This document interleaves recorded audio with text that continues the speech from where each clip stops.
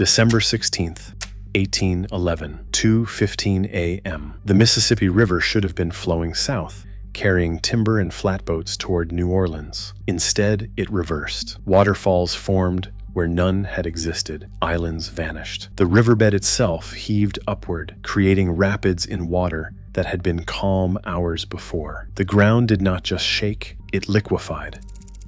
Across two million square miles, from the Gulf Coast to Canada, the earth rolled in waves like an ocean. Church bells rang in Boston without anyone touching them.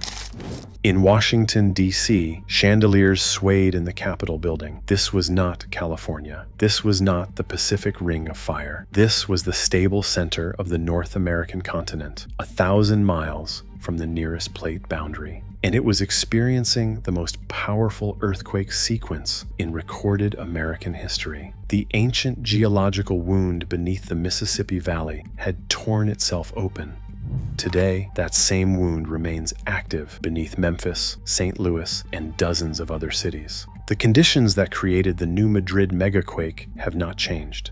Only the stakes have. The New Madrid seismic zone should not exist. Everything we understand about earthquakes says they happen at plate boundaries, where continental masses grind against each other. The San Andreas Fault makes sense. It sits at the border between the Pacific and North American plates, two massive slabs of crust locked in slow motion collision. But New Madrid sits in the middle of the North American plate, hundreds of miles from any boundary. It is an intraplate fault, a category that defies the basic rules of tectonics. The explanation lies 600 million years in the past. North America tried to split apart. Deep beneath what is now the Mississippi River Valley, the continent began to rift, pulling itself in two. Magma pushed upward. The crust thinned and cracked. For millions of years, the tear grew wider. Then it stopped. The rift failed. The continent did not split, but the scar remained. That ancient wound created a zone of deep, crustal weakness extending from Arkansas through Missouri, Tennessee, Kentucky, and into Illinois. The rock here is fundamentally different from the surrounding continent. It is fractured, weakened, and laced with faults that reach down into the mantle, and it is still moving. Between December 1811 and February 1812, the New Madrid seismic zone produced three separate earthquakes, each estimated above magnitude 7.0. Some researchers believe the largest reached magnitude 7.7, powerful enough to be felt across the entire eastern United States. The first struck at 2.15 in the morning on December 16th. The second hit at dawn on January 23rd. The third, the most powerful, came at 3.45 in the morning on February 7th. Each quake triggered massive ground failures. Eyewitness accounts describe sand blows, geysers of liquefied sediment shooting into the air. Forests sank into the earth. Entire sections of riverbank collapsed into the Mississippi. Near what is now the Tennessee-Kentucky border, the ground dropped so dramatically it created Reelfoot Lake, a body of water that had not existed before the earthquakes. The landscape permanently changed. Surveyors who returned to the region after the quakes could not locate their previous markers. Property lines had shifted. The elevation had changed by several feet in some areas. But the real mystery is not what happened in 1811. It is why it is still happening. Modern seismic monitoring shows the New Madrid seismic zone produces roughly 200 measurable earthquakes per year. Most are too small to feel, but they prove the fault system remains active still releasing stress that should not exist this far from a plate boundary. The soft sediments of the Mississippi River Valley amplify seismic waves. When an earthquake strikes here, the shaking spreads farther and lasts longer than it would in California. The same magnitude quake that affects a 60 mile radius in Los Angeles affects a 600 mile radius in Memphis. That is the geological reality. An ancient failed rift, a deep crustal weakness, and sediments that turn moderate shaking into catastrophic ground failure. The fault that should not exist is still very much alive. Memphis sits directly on top of the new Madrid seismic zone.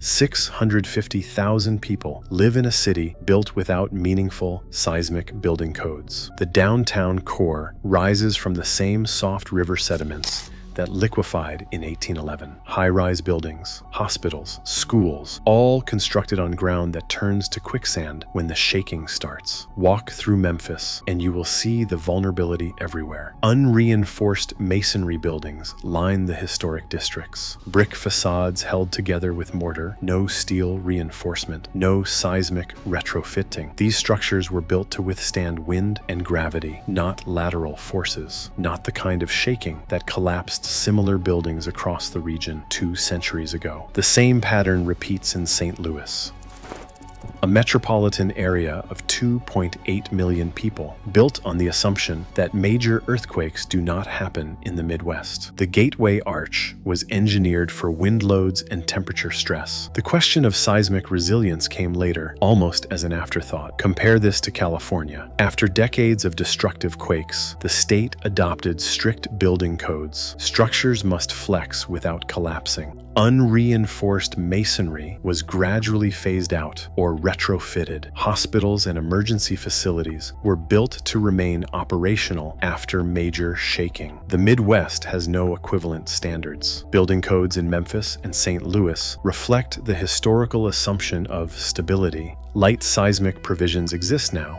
but they are recent additions. They do not apply to older structures, and they are based on underestimated ground motion predictions. Geologists have mapped liquefaction zones throughout the region. These are areas where saturated sediments will lose all structural integrity during strong shaking. The maps show schools sitting in high-risk zones, residential neighborhoods built on fill dirt and river deposits, critical infrastructure placed directly over fault traces. The bridges present their own crisis. Seven major bridges cross the Mississippi River in the New Madrid region. These structures carry Interstate 40, Interstate 55, and other critical transportation corridors. They were designed decades ago, before modern understanding of the seismic threat. A single bridge failure would sever the eastern and western United States. Beneath the cities, another network runs even more vulnerable.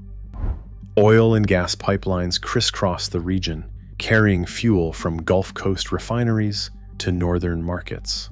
These pipelines were not built with seismic joints or flexible couplings. They are rigid steel tubes buried in ground that will shift violently during the next major quake. The population has grown exponentially since 1811. When the Great Quakes struck, the region was frontier territory. Small settlements, log cabins, sparse population. The death toll was minimal because almost no one lived there. Today, the same area contains major metropolitan regions. Millions of people live in structures that will not survive what happened before. The vulnerability is not theoretical. It is mapped, quantified, and largely ignored. The contrast is stark. California learned through disaster. The 1906 San Francisco earthquake, the 1989 Loma Prieta quake, the 1994 Northridge event. Each tragedy drove improvements in building codes and emergency preparedness. The Midwest has not had that forcing function. The last major New Madrid quake happened before building codes existed, before modern cities, before anyone understood what liquefaction meant, or how ground motion amplifies in soft sediments. That gap in experience has created a gap in preparedness, and the gap keeps widening as more people move into the region, building more structures on the same unstable ground. The Mississippi River is not just a waterway. It is the central artery of American commerce. 60% of the nation's grain exports move down this corridor. Chemical plants line the banks. Refineries process crude oil. Barges carry coal, steel, fertilizer, and manufactured goods between the Gulf Coast and the industrial Midwest. A major New Madrid earthquake does not just damage the region, it severs the country. When bridges collapse, Interstate 40 and Interstate 55 are cut. These are not local roads, they are transcontinental highways carrying freight between the eastern seaboard and the west coast. Trucks that would normally cross the Mississippi in minutes faced detours of hundreds of miles. Perishable goods spoil. Supply chains that operate on just-in-time delivery grind to a halt. The river itself becomes impassable. Liquefaction along the banks triggers massive landslides. Navigation channels fill with debris.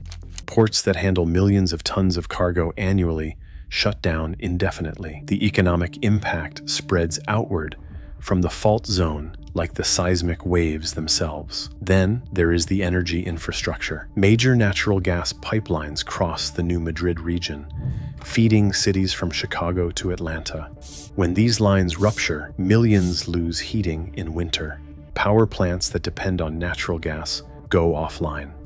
The electrical grid, already stressed, begins cascading failures. Oil pipelines present an even more immediate danger. Ruptures mean fires and environmental contamination.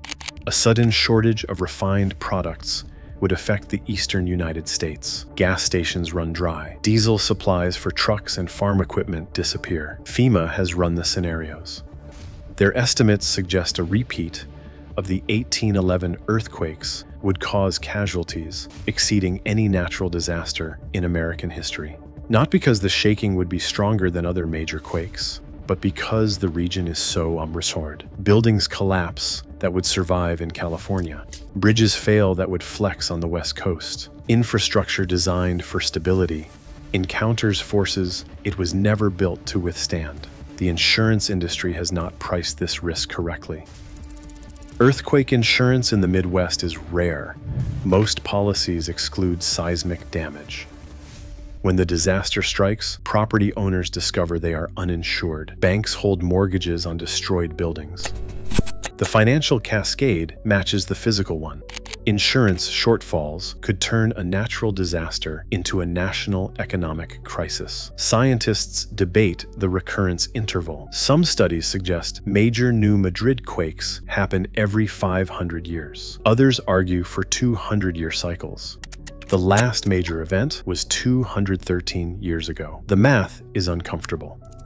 Modern seismic monitoring provides some clarity.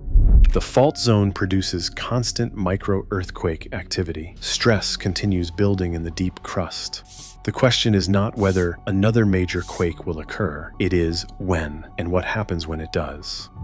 The geological evidence is clear. The New Madrid seismic zone will produce another major earthquake. The ancient rift beneath the Mississippi Valley remains active, still releasing stress that should not exist in a continental interior. Modern cities sit on the same unstable ground that liquefied in 1811, but now millions of lives depend on infrastructure built without without seismic standards. This is a national threat that demands attention. Subscribe for more investigations into the hidden threats beneath America's surface.